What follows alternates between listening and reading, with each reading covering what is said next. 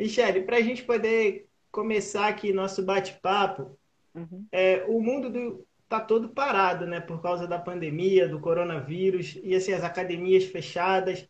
Como é que você tem é, aproveitado esse tempo para poder treinar? Se você tem conseguido treinar, né, manter a sua atividade física, a sua forma física, como é que tem sido, tem sido esse período para você?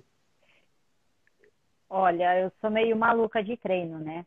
Então eu estou dando meu jeito, eu sempre consulto meu médico é, para saber o que, que eu posso estar fazendo para não ficar parada em casa, porque no começo eu fiquei, mas eu não consigo muito não.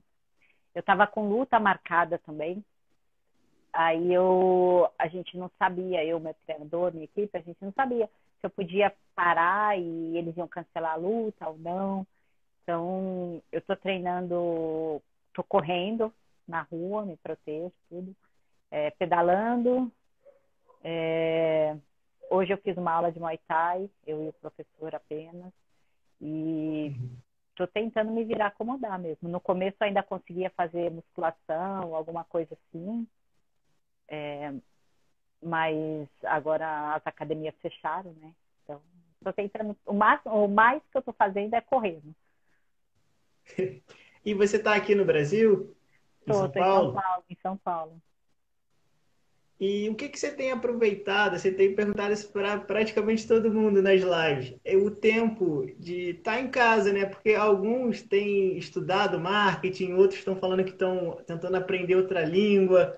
O que, que você tem aproveitado o tempo extra, assim? Porque acaba às vezes que não dá para treinar e tem que fazer outra coisa, né? O que, que você tem feito? Uma dica aí para o pessoal também. Então, eu já tinha começado a fazer é a louca do treino. Eu já tinha começado a fazer faculdade à distância, então eu estou muito focada nisso. É... Estou estudando muito, estudando bastante mesmo, mas eu já estava estudando, já estava fazendo a faculdade mesmo. É... Lendo mais, o que está sendo muito bom. É... no começo eu percebi que eu estava ficando muito na internet, também dei uma parada, diminuí bastante, é, coloquei horários, né? Mas eu estou mais uhum. focada mesmo nos estudos, que eu estou fazendo gestão de negócios, estou focada nos estudos e no, na leitura, quando eu estou em casa. E esse curso nessa faculdade que você está fazendo à distância tem a ver com o seu pós-carreira no mundo das artes marciais, do MMA, do jiu-jitsu? Tem, tem. São, é meu plano, né? Futuro, quando eu pretendo ainda. Olha o pessoalzinho chegando. É, eu pretendo lutar ainda mais uns dois anos. Eu sempre falo dois. Mas eu acho que é um tempo bom. E daí focar, talvez, no, no meu negócio, alguma coisa assim. Mas você pensa em abrir uma academia com seu nome, com alguma bandeira? Ou não tem nada a ver com, a academia? Não tem nada a ver com a academia.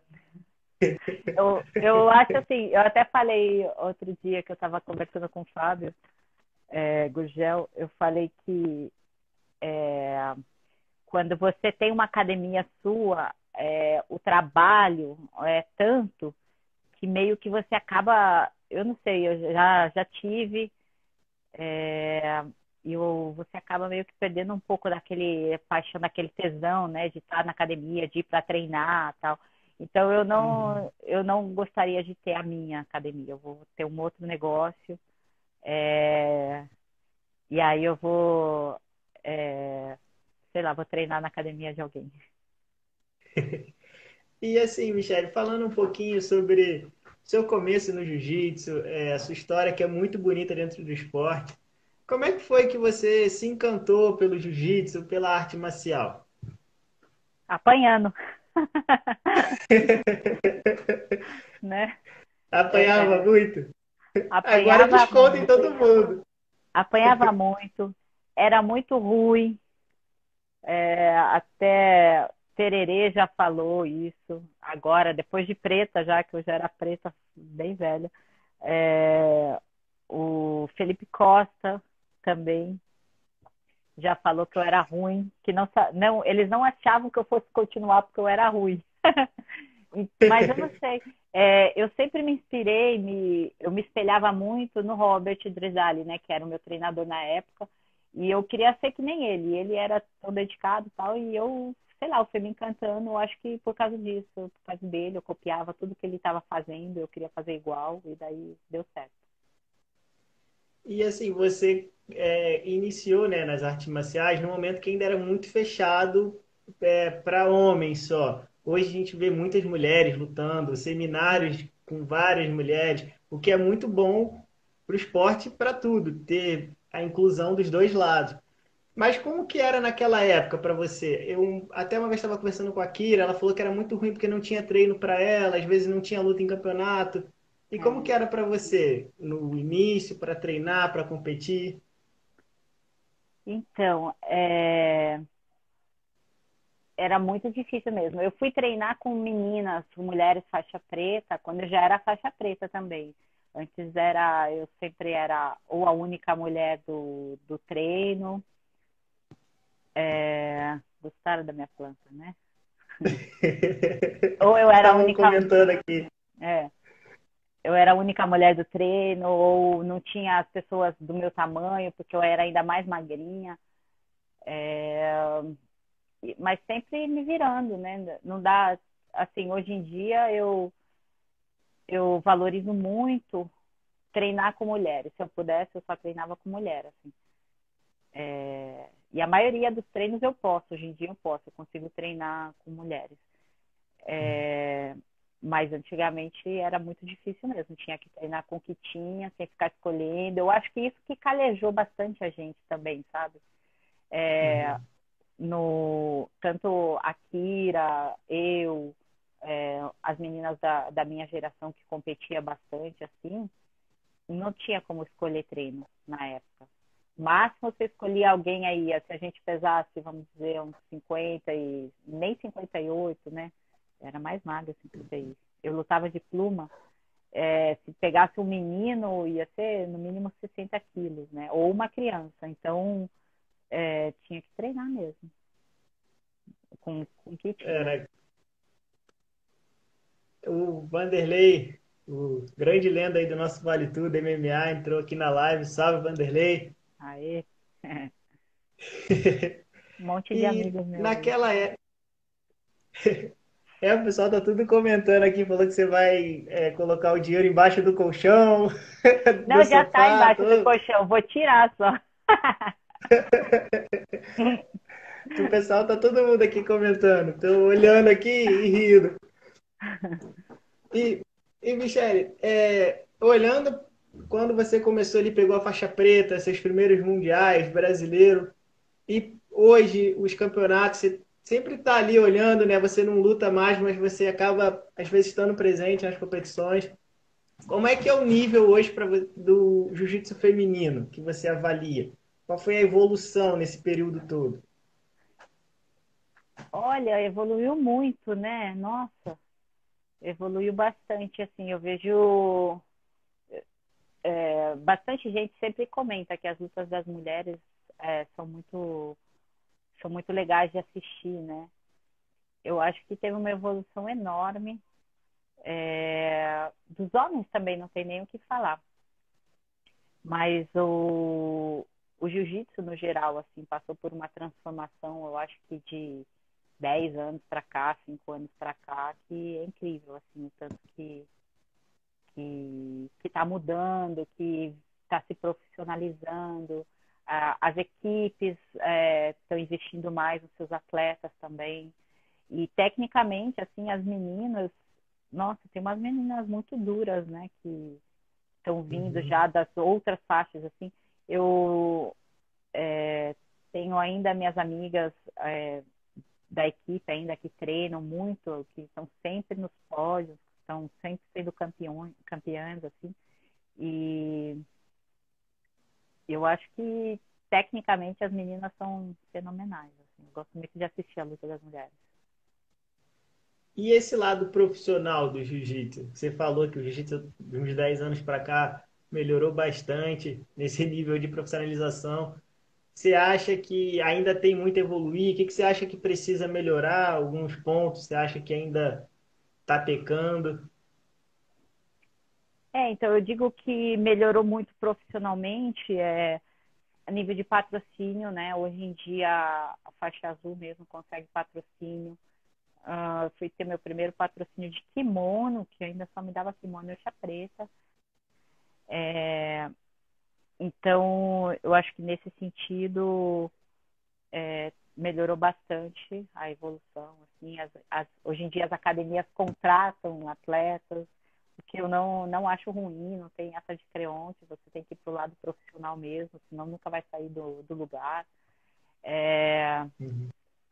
E é isso, eu acho que tem que buscar a mesma evolução e ir para frente.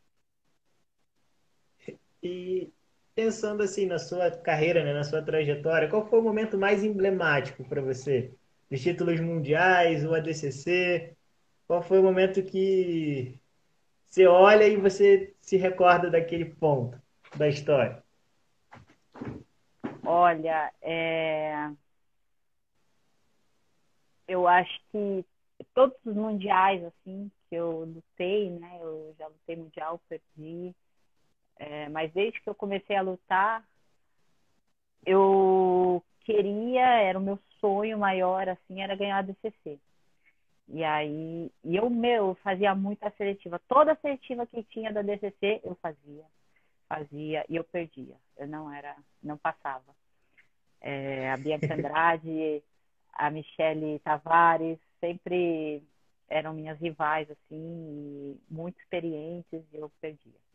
Até que eu consegui conquistar a vaga numa seletiva, acho que foi no, em São Paulo mesmo, e aí eu fui para o ADCC no primeiro ano e eu perdi na final, né, para Kira.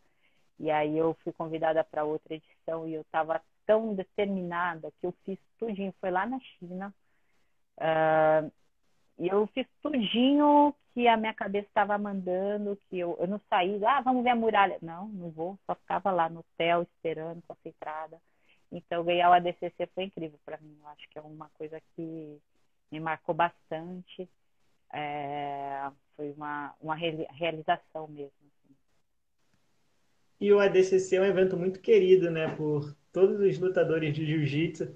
Acho que ele, e ele também, eu estava conversando com o Gabriel Arges na semana passada, o por ser de forma bienal, não tem todo ano, você tem uma seletiva, não são todos os atletas que podem participar, acaba que fica mais restrito e ganha um glamour maior, né? É, então, é uma. E você, ou você é convidado, ou você tem que ir numa seletiva, que é duríssima seletiva. Uhum. É, então, é um. Tem muito glamour, né, eu acho, assim, o, o ADCC. Eu gostei muito de, de participar e eu, acho, é, eu lutei três vezes. Três? Três vezes. Não, quatro vezes eu lutei. E gostei muito. Tenho muito carinho por isso. Lutaria de novo se recebesse um convite? Ah, agora já tô, não, agora já tô velha e as meninas, as meninas que estão competindo aí estão muito já naquele, né, é, naquela gana de ganhar, assim. O último que eu lutei, eu me preparei tudo, mas chegou lá na hora, hum, deu aquela, sabe, é, foi muito legal treinar, estava nos Estados Unidos treinando com o pessoal da, da, da, minha equipe, foi legal, mas aí chegou na hora de lutar, eu já estava mais ou menos assim, aí não sei, eu acho que eu perdi um pouco o timing de competição de jiu-jitsu.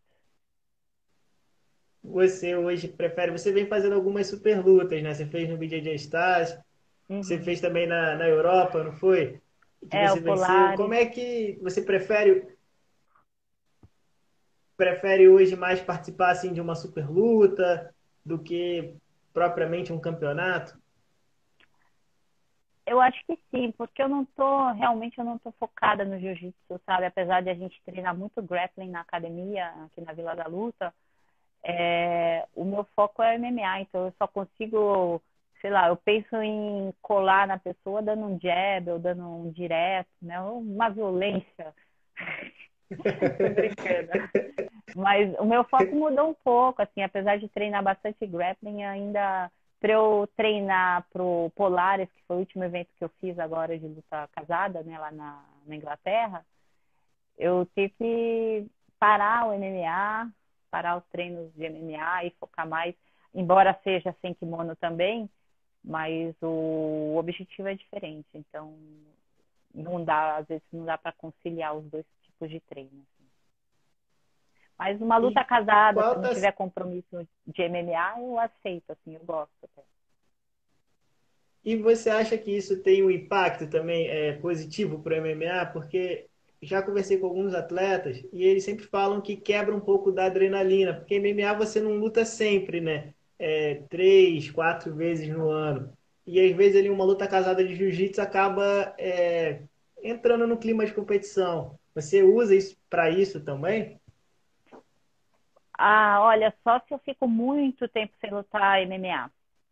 Eu acho que isso é válido. Agora, se não, não, eu não tem como ficar, sei lá, desmotivada de lutar MMA ou chegar no dia da luta e estar tá fora de ritmo, essas coisas. Porque, não, isso não, não sinto. E como é que foi esse, essa saída do jiu-jitsu e essa, esse início né, no MMA? Você sentiu muito? Porque você também saiu do Brasil, né? Você foi morar lá em Singapura é, foi toda uma ruptura, né? Não foi algo tão simples. Como é que foi esse, essa transição? Foi como o internato, né? Eu tinha que passar por isso. É, como é que fala? Sei lá, um intensivo, assim, que talvez se eu ficasse no Brasil eu não tivesse conseguido me focar tanto no, nessa mudança, né? Então eu fui para lá sabendo que eu estava sendo contratada para lutar. Ah, saudades também. Para lutar MMA pela equipe, pela Evolve, né, que eu estava que eu estava representando na época. Então, eu só estava focada nisso. Então, foi muito bom. Assim, eu não tinha que pensar é, que eu tinha que pagar conta, eu não tinha que pensar, sabe, o que, que eu vou fazer mais tarde, porque eu estava lá só para treinar e aprender o quanto o máximo que eu pudesse. E aí então foi bom assim, a transição, assim, essa mudança. Eu acho que se eu ficasse no Brasil, eu estava morando, na época eu morava em Santos. É... Aí tem, né? Já tem os amigos, já vai, sei lá, você fica meio uhum. desfocado às vezes assim. Como é, a minha primeira luta de MMA eu fiz acho que em 2011, depois em 2014 eu fiz de novo. Então, mas o meu objetivo, meu isso. Eu parava, treinava um pouquinho para MMA, daqui a pouco eu voltava é, para o jiu-jitsu. Então, quando eu mudei lá para Singapura e, e abandonei o jiu-jitsu, assim, é, parei de competir no jiu-jitsu, aí foi mais fácil mesmo. Não tinha nada para fazer, não tinha eu tinha, fiz bons amigos, mas na época ainda eram bem restritos. É, eu estava lá para treinar, aprender, treinar. E como que eram os treinos lá? Porque a Evolve é uma academia muito grande na Ásia, né? Muito conhecida, tem é. campeões do UFC que já treinaram lá, tem atletas do UFC que treinam lá também. Como que era ali a rotina de treino e tudo mais? Então, lá foi uma experiência muito boa. Eles é, buscam muito a luta em pé. Então, eu tive a oportunidade também de aprender bastante Muay Thai. É, e gostar, né? Na época, assim, eu, eu cheguei lá, eu não sabia nada de Muay Thai, assim. Eu fazia umas aulas, mas nunca fui muito dedicada, porque, como eu falei, o objetivo, o meu foco sempre era mesmo é, o jiu-jitsu. Então, lá que eu pude me dedicar. Então, a rotina lá era um treino de manhã, eu acho que era 9, 15 da manhã. Aí, geralmente, é, de manhã era ou era wrestling ou era é, um treino de MMA mesmo. E à tarde a gente tinha corrida, tinha Muay Thai, tinha sparring uma vez na semana, é, tinha sparring de Muay Thai, tinha treino físico. É, de segunda a sexta a gente treinava todos os dias. E aí eu comecei dando umas aulas na academia também. Então, é, a princípio eu só ia treinar. Daí eles começaram a pedir para dar aula. Aí eu estava dando aula também. E aí eu é, treinava de manhã, tinha um intervalo, daí eu dava umas duas, três aulas, às vezes um pouco mais, e depois eu treinava de novo. Mas foi uma experiência ótima, assim, super recomendo. A academia a Evolve é maravilhosa, tem tudo que a gente precisa, que eu precisava. E aí foi uma experiência muito boa. E esse retorno agora para São Paulo, você já está um tempinho, né, aqui de volta no Brasil, está treinando na Vila da Luta. É o Demian, né? Você, treina muito com ele. Como que é? Ainda mais vocês dois que são exímios faixa pretas de jiu-jitsu no MMA, você finaliza muito também. Ele, é, não preciso nem falar nada. Como é que é esse, essa relação com ele, os treinos? Então, eu voltei para o Brasil, né? Eu saí de Singapura, vim para o Brasil no fim do ano. E, na verdade, eu ia só passar o, o fim do ano mesmo aqui, passar as férias aqui. É, virou live astrológica, minhas amigas aí, tudo. eu tô vendo o pessoal falando de lua em Vênus. Você acredita, pessoal? Vamos focar. Não, é... Quem quiser mandar perguntas de luta, pode mandar. De, de, de signo é né? mais difícil. eu vim só para passar férias no Brasil. A minha ideia era essa: eu saí de Singapura. Oi, Van. E eu só ia passar férias no Brasil. Aí eu, né, essa coisa de.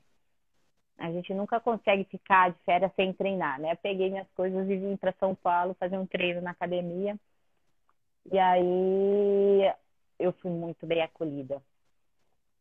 É, porque eu já conhecia o Demian, né? Claro, de muito tempo atrás. Uhum. É, nós já fomos da mesma equipe, já treinei muito junto com o Demian, o, o Robert mesmo já treinou muito, muito com o Demian. E aí eu revi muita gente da antiga, do meu tempo que eu treinava. É, isso falando de 10 anos atrás, assim. E eu me senti muito acolhida. E daí eu comecei a fazer os treinos de MMA também. E eu falei, nossa, porque em Singapura era um treino mais voltado em pé, né? Eles não conseguiram me mudar para ser uma striker, mas eles tentaram muitas vezes fazer que eu é, com que eu ficasse mais na luta em pé mesmo, assim. Aí quando eu voltei, foi como se eu tivesse voltado para o meu habitat natural, assim, sabe? Eu me senti muito em casa, muito acolhida. E eu falei, ah, cara, é, eu quero ficar aqui. Aí eu vim, tô morando cinco minutos da academia. É... pra, tudo para facilitar, assim, sabe? Eu quero só, como eu falei, né? Eu não, é... eu tenho mais. Ô, Leon, eu, eu tô dando um gás agora que eu tenho, que eu acho que eu ainda eu consigo, né, é, treinar, competir em alto nível ainda. E aí eu quero fazer tudo certinho. O máximo que eu puder nesses anos que eu voltei a morar aqui no Brasil, fazendo tudo certinho mesmo para fechar com chave de ouro. E você, assim, você teve uma derrota, você vendo uma sequência, né, de três vitórias lá no One. Aí você teve uma derrota que foi bem polêmica. Eu lembro que na época a gente conversou, você ficou bem chateado, assim, com é. o resultado. Depois você voltou, se recuperou. Como é que você tá, você acha, pensando no cinturão, a sua luta, você falou que tinha uma luta marcada, né? E agora, por causa da pandemia, acabou caindo. Como é que fica a sua pretensão olhando para o cinturão? Você acha que precisa de mais quantas vitórias? A organização conversou algo com você?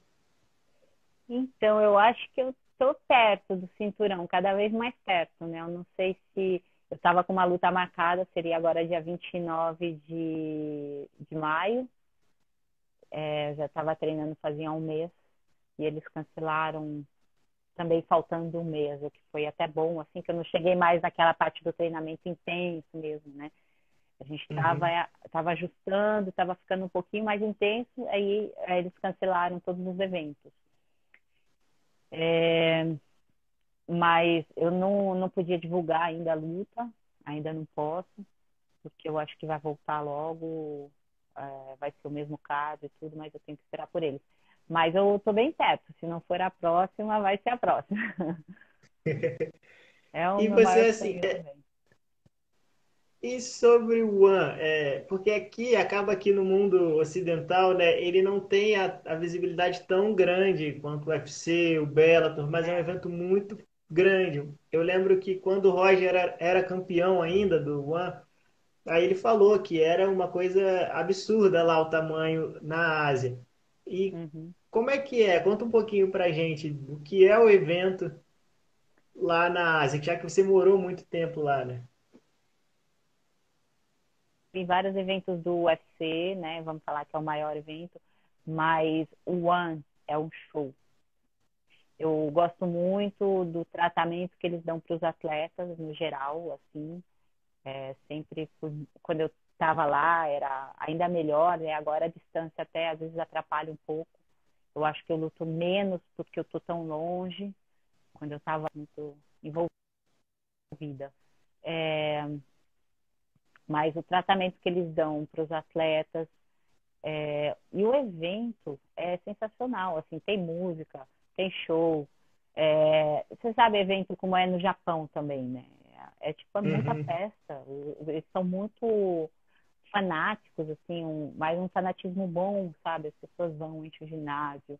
É, é muito legal ver as pessoas de países é, é, mais simples, né, menos favorecidos, assim, fazendo campeões, tendo cinturões. Então, é legal, assim, não fica tão, é, sei lá, é, bem distribuído, vamos dizer assim. Uhum. E eu sou super feliz, assim, as pessoas me perguntam se, ah, você não tem vontade de lutar o UFC? Lá atrás, eu já tive, claro, era o sonho de todo mundo lutar o UFC. Mas hoje em dia eu sou muito assim, me perguntam ainda, para falar a verdade, eu acho que eu não tenho vontade mais de lutar. Eu estou super bem realizada no One. Ainda vou estar ainda mais quando eles me derem a chance de lutar pelo cinturão. E mas assim, é, a remuneração é muito boa, o tratamento que eles dão é bom, então eu não tenho não tenho críticas assim para fazer. A única coisa é isso, assim, é que é, o brasileiro assiste muito o que está na televisão, né? O que não está, eles se, ficam é. desinformados, assim. Então é uma pena, mas na Ásia é gigante. Eu acho que é o segundo maior evento do mundo mesmo, é até maior que o Pilatos. É, é muito grande, muito grande. E você já recebeu oferta ou sondagem de outra organização para poder sair, trocar o ano nesse período que você vem crescendo? Então, nesse período, uma vez só, mas não foi nada que se concretizou, assim, foi logo que eu estava já morando em Singapura, então nem passava pela minha cabeça mesmo sair, assim. Mas antes eu já fui também sondada e daí falava, ah, mas ela tem que fazer um pouco mais de luta tal, e daí nessa eu assinei com o AN. Mas foi por qual organização? Você pode falar ou não? Foi, é, antes foi o UFC e depois já foi o Bellator. Eu lutei o o Legacy, né? Eu lutei o Legacy também. Ah, Porque agora é até do UFC, né? Eles têm um. Quase que uma. Uma fusão. Uma. Né? É. Faz uma seletiva ali, né? Os campeões acabam subindo pro, pro UFC. É. E, e como é que você vê, entrando aqui na nossa parte final da entrevista, como é que você vê o seu futuro? Você disse que quer lutar mais dois anos Você fica sempre falando isso, mais dois anos, mais dois anos. Mas como é que você vê sua carreira ali do Super Luta, é, no One, principalmente esse pós-pandemia? Qual é seu foco para esse restante de 2020? Então, eu queria, a gente estava planejando esse ano lutar duas para três vezes. Agora vamos ver se eu consigo lutar pelo menos duas, né? É, como o ano tem bastante atletas também. É... Como tem bastante atletas, eu acho que quando acabar a pandemia, todo mundo vai estar desesperado para lutar, é dinheiro. Então, as pessoas vão estar precisando de dinheiro. E eu eu espero conseguir, né, uma, duas lutas ainda depois que acabar tudo isso. Vamos torcer para que é, passe logo. Ninguém aguenta mais, não aguento mais. e, Michele, o, o MMA, né, ele tem o mesmo sistema do boxe, de bolsas. Não tem um pagamento mensal, como jogadores de futebol, de basquete, de vôlei. E nesse momento da pandemia, a gente está sentindo muito esse reflexo, que lutadores menores, ou então que estão em organizações grandes, mas ainda não têm bolsas grandes, eles é, acabam sendo sacrificados ali. Você acha que era o momento de repensar é, o MMA ter um salário, assim, as organizações pagarem salários para os atletas e uma bolsa maior quando for lutar? Você acha que seria o momento de pensar sobre isso? É, eu acho que sim, eu acho que seria muito válido, porque, meu, é, você sabe, a gente tem muita despesa. É, uhum. quanto mais profissional você fica, mais despesas tem. Ainda é, depois de um certo nível, assim, você consegue, eu consigo apoio médico, nutricional, é, eu consigo suplementos, patrocínio de, sei lá, de roupa, alguma coisa assim, mas é, dinheiro mesmo, assim, não é todo mundo que dá, que, que te oferece, né? Que, como, assim, é, principalmente para os atletas que estão começando. Então, acho que seria bem legal isso é, fazer. E fora, assim, treinamento, é, hoje em dia as pessoas não fazem mais treino de graça, né? O seu treinador de boxe está vai cobrar, o seu treinador de Muay Thai vai cobrar, o seu treinador, o seu deslocamento daqui para a cidade vai ser, vai ser né, computado também. Então, o, o atleta profissional tem muito gasto. Eu acho que valia a pena mesmo, é, de repente, já ficar essa deixa aí, né, que agora pegou muita gente de surpresa, é, e de repente melhorar esse aspecto para gente. E só para a gente fechar, Michele, esse nosso bate-papo aqui, tá tendo muito é, reivindicação, assim, debate muito grande nas redes sociais sobre reabrir ou não as academias nesse momento de pandemia.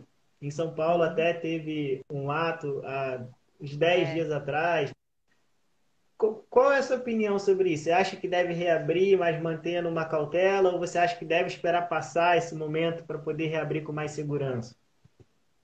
Olha, eu acho que não, não dá para reabrir.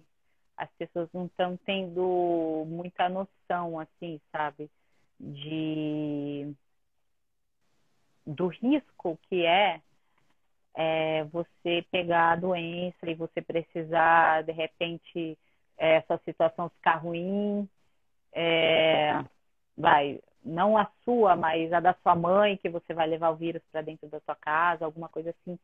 Então, eu acho que ainda não dá para pensar em reabrir, principalmente nosso jiu-jitsu, o esporte de contato, que é suor, é muita saliva, muitas coisas, né? É, e não tem como, assim, os hospitais, os leitos, estão, tá vendo? Tá tudo lotado. Infelizmente, uhum. tem pessoas tirando vantagem de, da situação ainda, não estão aprendendo, mas eu acho que a consciência de cada um mesmo é, é esperar, é ter paciência, tá todo mundo é, reclamando que está sem dinheiro, que está entediado de ficar em casa.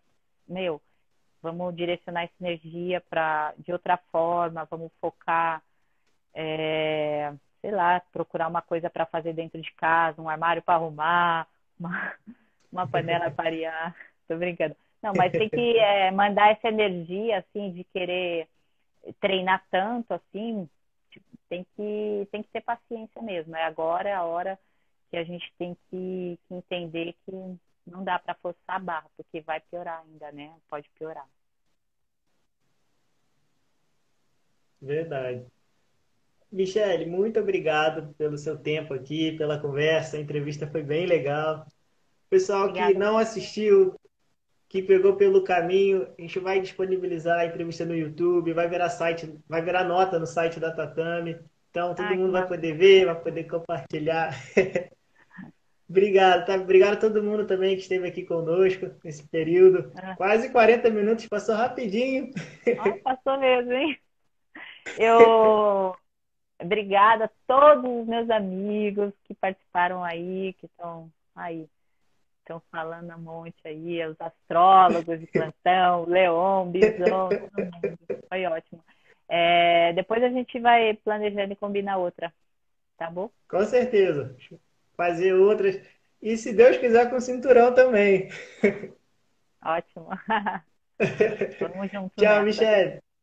Obrigado. Tchau, obrigada. Beijo para todo mundo. Beijo. Tchau. Tchau.